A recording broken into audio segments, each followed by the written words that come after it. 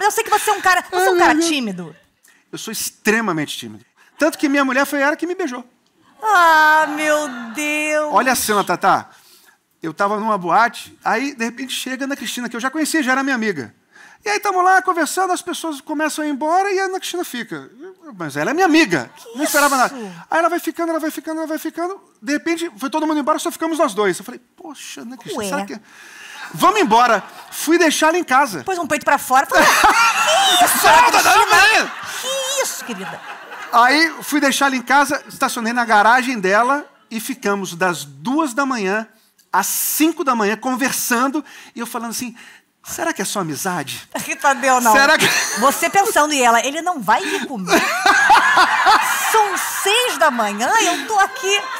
Aí, lá pelas tantas, eu fui falar alguma coisa do meu aparelho e aí ela, ela, ela- deixa eu ver, deixa eu ver, deixa eu ver aqui. Ela veio, hum, aí me beijou. Graças a Deus, Ana Cristina. Senão a gente tava lá até A gente agora. ter que intervir. É. Mostrou o aparelho. Olha a Ana Cristina como gruda comida. Que isso? Eu não sabia se você era realmente um cara tímido desse, Sou ou era aquele cara tímido. que fala, Tadeu nas festas, Não. vomita no karaokê, põe o pra fora, quer dó. Eu não sabia se você era. Então você é tímido mesmo. Extremamente tímido. Pô, Desculpa perguntar, você falou essa coisa de dificuldade. Você, você perdeu a virgindade com quantos anos?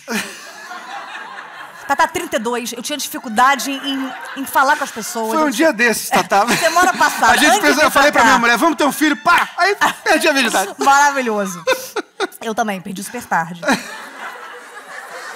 Agora, eu sou engraçado que quando eu fui pesquisar a sua vida e dormi na sua casa, você não percebeu que eu tava lá. Tirei suas cuecas, vi suas gavetas, foi maravilhoso. Quando você põe no Google e põe assim, Tatá, aparece, divorciou, altura e a puta, essas coisas assim normais.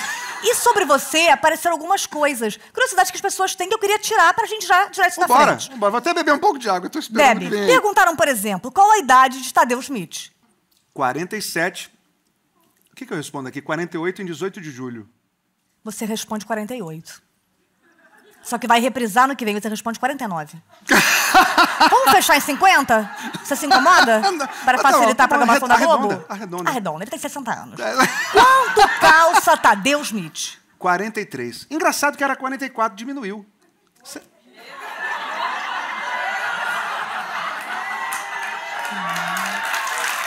Tô falando de sapato, né? Qual o nome verdadeiro de Tadeu Schmidt? Que dizem que não é o teu nome. Posso adivinhar? Olha. São Judas Tadeu Schmidt? Não, Jorge, João... Então, eu sou Emanuel Tadeu Bezerra Schmidt. Por que não Emanuel Bezerra, um nome maravilhoso Emanuel artístico? Bezerra. Porque eu, eu acho senhor, lindo né? Emanuel. Acho lindo Acho Emanuel lindo. e acho lindo Tadeu. Mas por que Emanuel Tadeu, gente? Não, mas Bezerra é um cara que seria amicíssimo de Drauzio Varela. Hoje temos uma palestra de Dra- Drauzio Varela e Emanuel Bezerra. Os perigos das DSTs. É maravilhoso. Quem é a esposa de Tadeu Schmidt do Fantástico? Não seria a mesma do Big Brother? Como é que... o que eu, isso que eu é acho. a mesma, é a mesma. Ana Cristina Ana Mello Cristina. Schmidt. Ai, que fofa. E ela também é fofinha que nem você? Ela é fofíssima. Ela sim é divertida, ela é legal demais, ela é muito.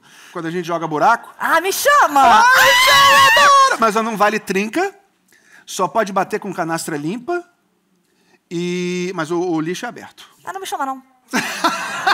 e perguntaram também, será que Tadeu Schmidt transa? Perguntaram isso na internet. Em momento fui eu, burlão, na internet. Mas com quem? Só com a minha mulher. Cara, você é o único cara com quantos anos de casado? 24. Que ainda fala com a mulher, sabe o nome da mulher, fala bem da mulher por aí, é fiel, gostei de ver. A gente tem essa coisa mesmo de querer ficar do lado do outro. Ah, eu quero malhar, mas eu vou pra ficar do seu lado te olhando. Tadinho, tá... A gente tá. Fizeram é qual o salário de Tadeu Schmidt? Engraçado. Ah! Perguntaram isso. Isso todo mundo sabe. É 10% do salário de Tata Werneck. Ah, não. E lamba os beiços! Sabe quem ganha mais que eu? O Chai Suede. Você acha justo? Só que uma coisa aqui que tá aqui. Vamos ver. Uma coisa aqui que eu vou, eu vou negociar agora. Eu sei de uma coisa, você merece o maior salário de todos. Isso é Print! E vamos ver, na hora de negociar. Você falou algumas coisas do seu casamento, da sua vida, mas eu fiquei com algumas dúvidas. Posso tirar umas luzinhas básicas sobre Claro. jornalismo? Claro. Sobre jornalismo. Sim. Esse é o quadro Pauta On. Numa apuração, você vai fundo na apuração? Sempre. É importante você começar com jeito, criando confiança com a fonte, e aí aos poucos você vai é, trabalhando esse relacionamento para confiar em você e você poder ir fundo na apuração. Só me beija, só me beija. É só o que eu te peço, Tadeu. É, o jornalismo é assim. Você gosta de dar cabeça logo de cara? Sim, a, a cabeça tem que vir na frente sempre. Tá, eu já vou discordar de você. Porque a- você acha que a cabeça pode vir atrás? Com certeza. É? É a minha quinta-feira, meio de dois. Mas não fica, não fica estranho a cabeça vir atrás? Porque. Fica, uma- fica espetacular. É? Porque todo mundo está acostumado com a cabeça antes. Não.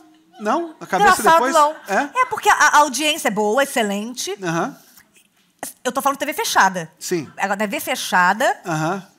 o cana- no canal a cabo, a cabeça pode vir. Pode vir depois? Mas tem que ter uma, tem que ter uma, uma preparação. Aí eu te- até te peço, por favor, Não dá pra chegar e pá, cabeça! É, ai, Ai, não, não. dá, não dá. Produz. Já produziu matéria a várias mãos? Claro. Claro. Inclusive é muito melhor quando isso acontece. Peraí, Tadeu. Porque não é, não, não é um trabalho individual, é um trabalho coletivo. E às vezes são duas pessoas fazendo, às vezes são três, quatro, cinco, seis, às vezes tem uma equipe enorme fazendo. E todo mundo naquela comunhão, todo mundo pensando na mesma coisa. Um quer fazer isso, quer fazer aquilo, um sugere aquilo, outro sugere aquilo. E no final, fica muito melhor sempre quando tem várias cabeças pensando. Você me surpreendeu muito. Não sou só eu que estou fazendo ali. Eu Sou entendi isso mesmo. Mas então, mas aí você, você vai me ajudar aqui, Tata, entendeu? Você Eu vai, posso fazer- eu você posso? vai, claro. Legal. Você vai meter a mão na massa ali, Legal. entendeu? Então a outra pessoa vem e põe a mão também. É, todo mundo tem que, todo mundo tem que meter a mão para ficar melhor. Legal! Gostei, Tadeu! Que espetáculo, querido. Que espetáculo de relacionamento. Tem sempre a participação de mais alguém. O povo fala. O povo, ó, sempre com o povo fala fica divertido, né? Com o povo fala fica divertido. Gostei. É. Não sei se. Vocês estão comigo aqui nessa coisa? Legal, gostei.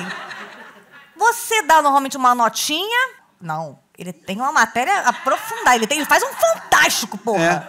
É. Então, o, o pessoal, eu tinha inclusive um apelido na época do esporte, que era longa.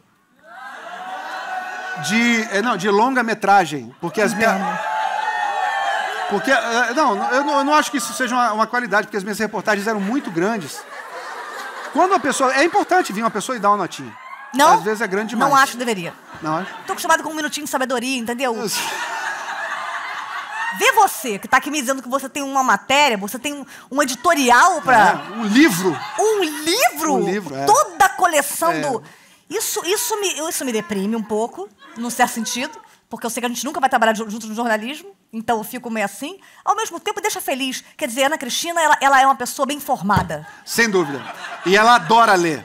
Ela adora Ela, ler. ela é uma leitora compulsiva. Agora, tem uma coisa também que é chata, que às vezes você faz uma matéria, Uhum. alguém pega a sua matéria e enche de linguiça. Ah, Já, já, recebe, já recebeu é, é, linguiça? na- porque as pessoas querem o que realmente importa. E o que importa? linguiça. É linguiça? Pra mim, É? hoje é assim, Márcio. É, eu não acho.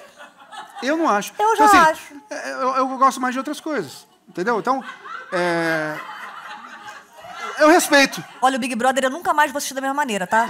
Eu vou assistir aplaudindo assim. Primeiramente, um aplauso. Primeiramente, eu vou te aplaudir. E apesar de Nossa você Senhora. É, ter dois irmãos, você é o temporão. Você nasceu. 12 anos depois do Felipe, que é o nosso irmão do meio, e 16 anos depois do Oscar. 7 vezes 2 vão 4, vezes 5 vão 2. 7 vezes 2, não sei, não fiz a conta. Mas então quer dizer que você é o temporão, que do latim vem. Seus pais não podem mais viajar por 10 anos. É aquele filho que pode tomar refrigerante. Vem do grego, glicose liberada. É verdade, verdade. Foi muito diferente dos meus irmãos. Você era o protegido ou o massacrado? Eu, na verdade, não- eu não, não convivi com os meus irmãos em casa. Então eu era mimado. Ah. Porque eu era tipo filho único. Eu namorei um filho único, ele tinha sanduíche, e eu falava, posso comer ele? O meu sanduíche? ele deixava eu comer a comida dele. Eu deixo todo mundo comer o meu sanduíche. Eu deixo também comer o meu hambúrguer hoje. Hoje em dia, eu também deixo. Seu pai era militar. Sim. Te acordava com corneta? Você teve, você teve uma, uma infância rígida? Super rígida. Eu meu também. pai é- é- era militar e filho de alemão. Você fala alemão? Falo nada. Meu, meu então pai. você fala com seu pai há quantos anos? Não, meu- Não! meu pai já morreu. Não! Mas. Mas, gente, quando a gente, quando a gente gravou, ele estava vivo. Por favor. Ai, Desculpa. Mas imagina. Mas por que que a gente tá falando do alemão? Você estava lendo um livro que era do milenismo. Não, não, não. Ah, ok, já tinha mudado. Ok, não, peguei errado aqui a conversa. Nossa, Rígido, rígido. rígido, rígido. Aí meu pai era muito, muito rígido. Meu pai é, é- é muito rígido. O meu pai descobriu que eu não era virgem porque eu tava grávida. Não, meu pai era assim, não, não, tinha possibilidade de fazer nada ah, fora das regras. Então, eu- isso eu cresci com uma coisa muito forte em mim, e é até um problema, porque eu, eu gosto de seguir as regras. Ah, Tadeu, que- a gente tem que andar juntos. Tem- Nossa, eu não sei. Eu, eu gosto de não seguir as regras. Eu já briguei com um padre. Eu, eu já sou o contrário. Eu vejo uma autoridade, eu brigo com a autoridade. É, não, eu, eu acho que seguir as regras é legal, porque se todo mundo seguir, as coisas funcionam. Então tô atrapalhando a galera, peço desculpas, tá, gente? Acabei atrapalhando o funcionamento do Brasil. Agora, você nasceu em Natal, mas Sim. cresceu em Brasília. Sim. Nos anos 80? Sim, 70, 70, final de 70, 80. Que ou você Até tinha uma 90. banda de rock, Não, ou você é. ia assistir uma banda de rock de alguém. Exatamente. E nunca tive talento musical, assim. Eu aprendi a tocar violão com 17 anos, mas era só para fazer bagunça com o pessoal. Ah, nunca tive mas- talento mesmo para fazer Mas o banda. tímidozinho, quando pega um violão, ele come quem ele quiser. É. Tem, tem um poder. Fofinho. Tem sim. Coisa mais linda da minha vida, coisa mais linda da minha vida, meu Tadeu. Vou fazer uma pergunta, perguntas pra saber como é que você era na sua adolescência. Vamos lá. Caiu na porrada? Não! Nunca caiu na porrada? Nunca briguei. Ah, gente, vocês vão achar que eu não, Não, vivi, né? gente. Nunca briguei com ninguém na minha vida. Nunca assim, dar um deu um- soco em alguém, nunca. Tadeu, já tomei soco, já dei soco em tanta gente. não fazia só um volta ao mundo na cabeça das pessoas? Nada. Um ganso. Ê, ganso! Acho que talvez por, por eu não ter brigado com ninguém, quando eu brigo, é para sempre. É uma coisa. É, ai, demora. A pessoa pede desculpas, ou eu peço desculpa, aí volta. Eu amo brigar.